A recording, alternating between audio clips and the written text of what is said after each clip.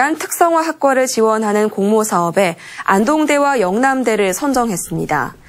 안동대는 그동안 생명 백신공학 전공을 통해 SK 바이오사이언스와 같은 백신 기업과 산학 협력을 지속해서 추진했고 영남대는 로봇공학과에서 5년간 특성화학과 교육과정을 운영하고 산업체 요구를 반영해 실현 가능한 교과 과정을 편성한 점이 호평을 받았습니다.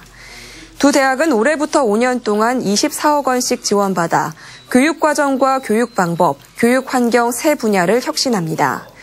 경상북도는 내년까지 세계대학의 특성화 학과를 추가로 선정합니다.